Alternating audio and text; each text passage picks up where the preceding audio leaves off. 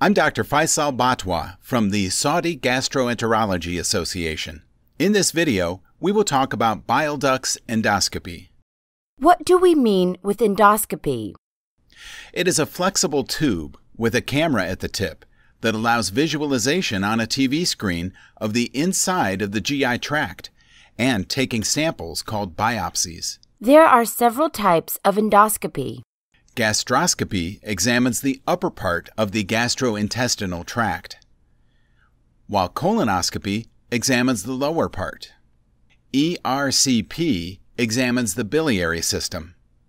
ERCP stands for Endoscopic Examination of Biliary and Pancreatic Ducts.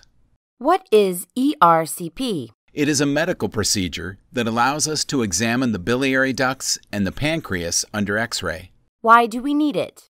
Endoscopic examination helps to diagnose and treat problems of the biliary ducts and the pancreas. It is useful especially in relieving blockage and removing stones, thus treating yellow skin discoloration known as jaundice, and treating leaks.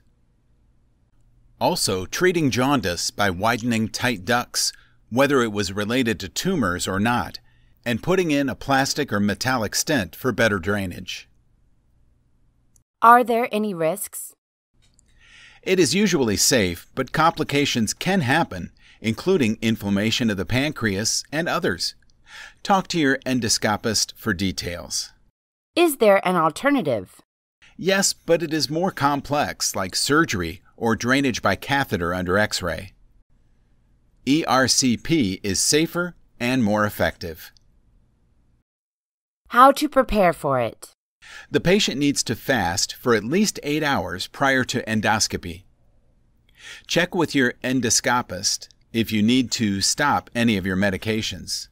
You have to come to the endoscopy unit at the allotted time. What will happen next? You will change your clothes into something appropriate for the scope. You will be asked to give informed consent. Your endoscopist will give you drugs to relax you before the procedure. The procedure lasts for a short period usually.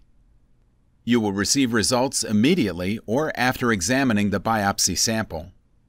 Usually, you will be discharged home on the same day.